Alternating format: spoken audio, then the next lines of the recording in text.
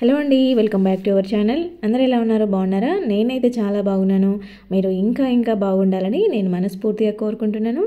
So ఇంకా వీడియోలోకి వెళ్ళిపోతే ఈరోజు ఈ వీడియో వచ్చేసి పువ్వుల మొక్కలు కానీ మనము ఏవైనా ఇంట్లో పెంచుకునే మొక్కలు మనీ ప్లాంట్స్ ఉంటాయి క్రోటన్ ప్లాంట్స్ ఉంటాయి లేదంటే లక్కీ ప్లాంట్స్ ఉంటాయి.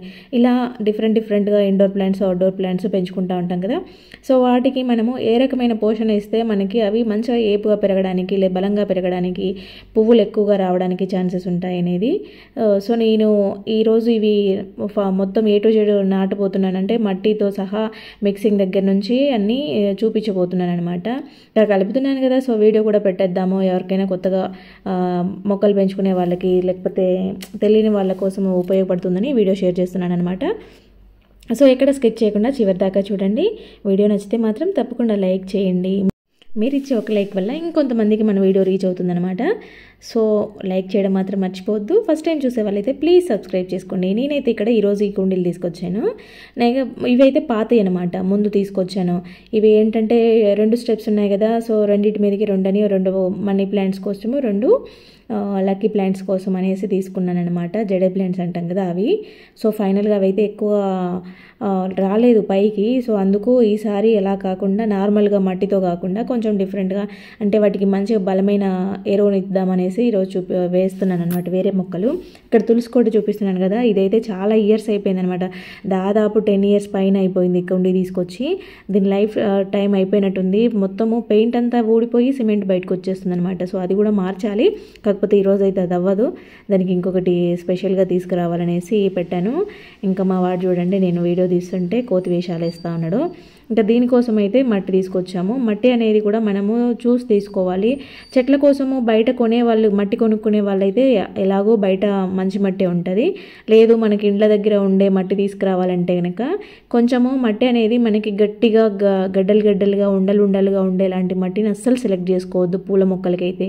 ఎందుకంటే అది మనము వేసిన తర్వాత కూడా అట్లనే బంకలాగా అంటే గట్టిగా ఉండిపోయి రూట్స్ అనేవి ఫ్రీగా మూవ్ అవ్వడానికి ఛాన్సెస్ అనమాట సో అలాంటి మట్టిని మొరం మట్టిని మనకి రోడ్ సైడ్ ఉండే మట్టిని అట్లాంటిది అస్సలు తీసుకోకూడదు. పుట్టమట్టి అంటే ఫ్రీగా వదులుతుంది చూడండి. మనకి ఇక్కడ ఒకటి చూడండి. మా వాడి మాటలు వినేసి కుక్క అయితే ఎక్కడో ఉండింది బయటకు వచ్చి చూస్తూ ఉందన్నమాట. వాళ్ళ మాటలు విని అరుస్తూ ఉంది ఆ పక్క నుండి. ఇంకా ఇక్కడైతే నేను ఈరోజు పెట్టబోయే మొక్కలు వీటిలలో ఉన్నాయన్నమాట. కొన్ని రోజా మొక్కలు ఇవి ఉన్నాయి కానీ కొన్ని కొన్ని నాటుతాను. ఈరోజు ఉండే వరకు నాటుతాను. కొన్ని క్రోటన్ ప్లాంట్స్ ఉన్నాయి ఇక్కడ చూడండి ఇవి. సో ఇంకా మా వాడైతే దాన్ని టెస్ట్ చేయడం కోసం బయటకు వస్తుందా రాదా అని చూడడం కోసము బయటికి వెళ్ళి దాన్ని సుల్తాన్ అని పిలవంగానే చూడండి. ఆ బిల్డింగ్ మీద నుంచి ఈ బిల్డింగ్ మీదకి దూకి గోడ దూకి బయటకు వచ్చేసింది.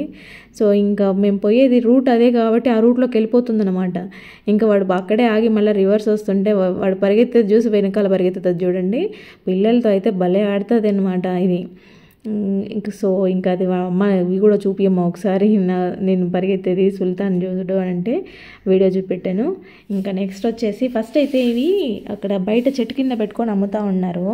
సో ఇంకా వానకి గాలికి అంతా డస్ట్ పట్టినాయి అనమాట లోపల మట్టి నింపుతాం కానీ బయట కొన్ని ప్లాంట్స్ లోపల ఇంట్లో పెట్టేటివి ఉన్నాయి. సో ఇంకా బాగుండదు కదా డస్ట్ డస్ట్గా ఉంటే చూడడానికి మురికి మురికిగా ఉంటాయి. వాటర్ కొట్టేద్దాము ఫస్ట్ అయితే మంచిగా నీట్గా కడుగుదాము అనేసి ఇవైతే ఇక్కడ గేట్ దగ్గరికి తీసుకురమ్మన్నాను. వాడు ఇంకా తీసుకొస్తున్నాడు బయటకి ఎక్కడికి పోవాలా నువ్వు వాటర్ కొట్టేసిన తర్వాత నేను సైకిల్ తీస్తే మళ్ళీ బురదంతా అంటించుకొని వచ్చినావు అంటావు అనేసి సైకిల్ బయట పెట్టుకున్నాడు ముందే. నెక్స్ట్ అయితే ఇవి జస్ట్ అట్లా వాటర్ కొడుతుంటేనే పైన ఉండే డస్ట్ అంతా వెళ్ళిపోతుందన్నమాట. అంటే వెహికల్స్ రోడ్ల మీద తిరుగుతూ ఉన్నప్పుడు అవి పడే డస్ట్ అనమాట అదంతా. సో ఫైనల్గా అయితే మొత్తం ఎక్కువ శ్రమ లేకుండానే ఈజీగానే వదిలిపోయింది. చుట్టుపక్కల అంతా ఊరికనే పోయింది. ఇంకా లోపల పక్క అంటే కింద దాకా ఇంక క్లీన్ చేయలేదు. మళ్ళీ మనం వేసేది మట్టే కదా అనేసి పైన ఎడ్జెస్ దగ్గర అంచుల దగ్గర మాత్రం క్లీన్ చేశాను అనమాట ఇక్కడ ఇవైతే రెండు బుద్ధుడివి తీసుకున్నాను కదా. ఇవి వైట్ కలర్లో ఉన్నాయి. చూడడానికి చాలా చక్కగా ఉన్నాయి. కడిగిన తర్వాత మంచిగా వైట్ వచ్చేసింది. చూడండి ఎట్లున్నాయో. నీట్గా ఉన్నాయి అన్నమాట. మంచి వైట్లో కనిపిస్తూ ఉన్నాయి. ఇంకా నెక్స్ట్ ఇక్కడ చూడండి ఇవి అన్నీ కూడా కడిగి పెట్టేశాను. ఇంకా వీటిలలోకి మట్టి మిక్సింగ్ చేయాలన్నమాట. మట్టి అయితే తీసుకొచ్చారు కానీ ఇంకా మిక్సింగ్ చేయలేదు. సో మట్టి ఇసుక రెండు ఈక్వల్ క్వాంటిటీలో తీసుకోవాలన్నమాట. లే ఇట్లా నేను ఎందుకంటే ముందే మిక్స్ చేస్తున్నాను రెండు. అట్లా కాకుండా వేసుకునే వాళ్ళైతే బకెట్లో ఏం చేస్తారంటే అంటే బకెట్ అంటే కుండీ కానీ మీరు వేసుకునేది ఆ పాట్లో ఫస్ట్ ఒక లేయర్ మట్టి ఒక లేయర్ ఇసుక ఒక లేయర్ మట్టి ఒక లేయర్ ఇసుక అట్లా వేసుకోవాలా. లేదు అంటే కనుక ముందే మొత్తం మిక్సింగ్ చేసేసుకోండి. ఇట్లా నేనైతే మొత్తం మట్టిని ఇసుకని రెండు ఈక్వల్ పార్ట్స్గా తీసుకున్నాను మిక్స్ చేస్తున్నాను. ఇట్లా ఇసుక అనేది మనకి కంపల్సరీ ఉండాలి ప్లాంట్స్లో ఎందుకంటే రూట్స్ అనేవి మంచిగా ఫ్రీగా మూవ్ అవుతూ ఉంటాయి వాటర్ పోసినా కూడా. అవి మంచిగా తీసుకుంటూ ఉంటాయి. వాటికి కొంచెం గాలి అనేది ఉండాలా? లేదు బ- మొత్తం మట్టి అంతా బండలాగా మొత్తం పిడసగట్టేసినట్టు అట్టలాగా అయిపోతే రూట్స్ అంత ఫ్రీగా మూవ్ అవ్వ అనమాట రూట్స్ ఎంత బాగా ఫ్రీగా వాటికి ఉంటే అంత చెట్టు బలంగా ఉంటుంది. ఫైనల్గా అయితే నేను మొత్తం మట్టిని మిక్స్ చేస్తున్నాను. ఇంకా ఈరోజే మా కుండీలో వేసేద్దాం అనుకున్నాను. కాకపోతే ఏంటంటే ఎరువు లేదు. మామూలుగా మనం బయట పేడ ఉంటుంది కదా ఎండిపోయిన పేడనైనా సరే మీరు కొంచెం నలిపినట్టు అనేసి పౌడర్ లాగా చేసి వేయచ్చు.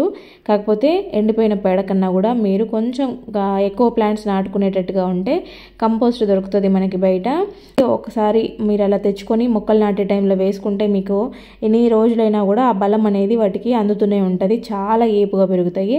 ఫస్ట్ అయితే కింద హోల్స్ ఉన్నాయి కదా కుండీలకి ఆ హోల్స్కి మట్టి అంతా కారిపోకుండా ఉండాలని నేనైతే కొబ్బరి పీచు పెట్టాను. అనమాట. ఈ పీచు పెట్టేసిన తర్వాత ఒక లేయర్గా కొంచెం ఫస్ట్ మట్టి వేసుకుంటున్నాను. జస్ట్ కొద్దిగా వేసాను తర్వాత ఇక్కడ వర్మీ కంపోస్ట్ అయితే ఫిఫ్టీ కేజెస్ బ్యాగ్ కొనుక్కొచ్చామన్నమాట. ఇదైతే దాదాపు సెవెన్ ఫిఫ్టీ ఏమో పడింది. నెక్స్ట్ ఇంకా మట్టి ఈ వర్మీ కంపోస్ట్ కలిపి మనము దాంట్లో వేసుకోవాలి. అది కూడా ఎలా వేసుకోవాలి అని అంటే ఇక్కడ మనకి కింద మట్టి వేసాం కదా ఇంకా పైన వర్మీ కంపోస్ట్ వేయాలి. వర్మీ కంపోస్ట్ చూడండి ఇలా ఉంటుందన్నమాట. దీన్ని మనము ఎక్కువగా వేసి పెట్టుకున్నామంటే మనకి మొక్కలకి చాలా రోజుల వరకు పోషణ అందుతుంది. జస్ట్ మనం ఒక వాటర్ అందిస్తూ ఉంటే సరిపోతూ ఉంటుంది. మొక్కలు చాలా బలంగా వస్తాయి అన్నమాట. ఇది వేసాక మళ్ళీ మట్టి మళ్ళీ వర్మి కంపోస్ట్ ఇలా వేసుకోవాలి. ఈ కంపోస్ట్లో మనకి మొక్కలకు కావాల్సినవి అవి చిన్న చిన్న చిన్నవి ఎర్రలు ఉంటాయి కదా అలాంటివి దీంట్లో నుంచి వస్తూ ఉంటాయి అన్నమాట కొద్ది రోజులు పోయాక. సో అవి వాటి వల్ల మన మొక్కలకైతే చాలా బలం వస్తూ ఉంటుంది. కాబట్టి వర్మి కంపోస్ట్ అనేది కంపల్సరీ వేసుకోవడానికి చూడండి. వర్మి కంపోస్ట్ లేకపోతే కొంచెం ఆవు పేడ ఎండిపోయిన పేడని తీసుకొచ్చి కొద్దిగా ఏదైనా కొద్దిగా మిక్సింగ్ చేసుకొని కలుపుకోండి. మీకు వీలైతే కనుక వర్మి కంపోస్టే వేసుకోండి. చాలా మంచిది. మనం అది ఒక్కసారి వేసుకుంటే సరిపోతుంది. మనకి చాలా రోజుల వరకు దాని బలం అనేది మొక్కలకు అందుతూ ఉంటుంది అనమాట పువ్వుల మొక్కలకైతే పువ్వులు చాలా వస్తాయి.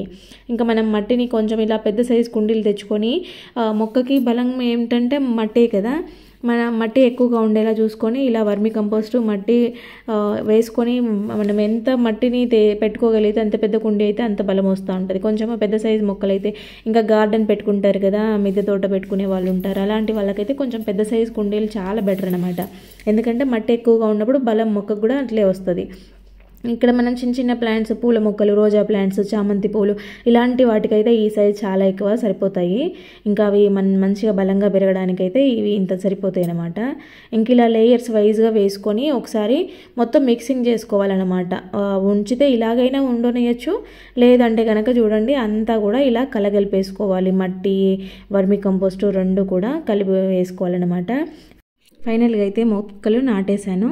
ఉండే మొక్కలు నాటాను అనమాట ఇక్కడ మొక్కలు నాటుకోవడమే కాదు అప్పుడప్పుడు మనము ఒక టెన్ డేస్కి ఒకసారి ట్వంటీ డేస్కి ఒకసారి అయినా సరే ఏదైనా ఇనుపది చువ్వ లాంటిది తీసుకొని మట్టిని కొంచెము ఇలా గెల్లగిచ్చినట్టుగా తవ్వుతూ ఉండాలన్నమాట. అట్లా తవ్వడం వల్ల మట్టి అనేది మా కొంచెం ఓపెన్ అయిపోయి ఫ్రీగా ఉంటుంది. మనం ఎప్పుడు ఒకటేలాగా నీళ్ళు పోస్తూ సరిపోకుండా అప్పుడప్పుడు వాటిని తవ్వాలన్నమాట. మనకు పొలాల్లో అయినా కలుపు తీయడం అంటారు కదా చెట్ల చుట్టూ తవ్వుతూ ఉంటారు. ఎందుకంటే దానికి రూట్స్కి మంచిగా గాలి తగులుతూ ఉంటుంది కాబట్టి కొంచెం ఏపుగా పెరగడానికి బలంగా ఉండడానికి ఉపయోగపడుతుంది. అప్పుడప్పుడు చెట్లను తవ్వుకుంటూ ఉండాలి మట్టిని వాటర్ పోసుకుంటూ. సో ఫైనల్గా ఇదైతే ఇదబ్బా ఇంకా ఈ పక్కన ఉండేటివన్నీ చిన్నవి ఇప్పుడు నాటిన ప్లాంట్స్ ఇవి మిగతాయి. మా ముందు ఉండేటివి. ఇంకా కుండీల్లో అయితే కొన్ని ఇండోర్ ప్లాంట్స్గా నాటాను. ఇంకొన్ని ప్లాంట్స్ తెచ్చి నాటేవి ఉన్నాయి. సో అన్ని నాటిన తర్వాత ఫైనల్గా చూపిస్తాను. ఓకే అండి. వీడియో నచ్చితే తప్పకుండా లైక్ చేయండి. Thank you for watching.